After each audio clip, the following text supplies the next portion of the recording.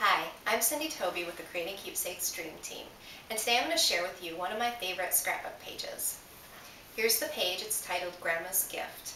The reason why it's one of my favorites is because of the story that the page tells.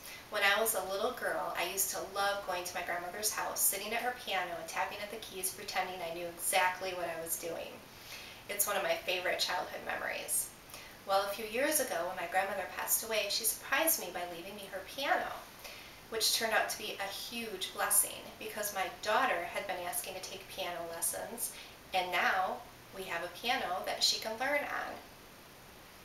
Now for my page, I wanted to use items that reminded me of my grandmother.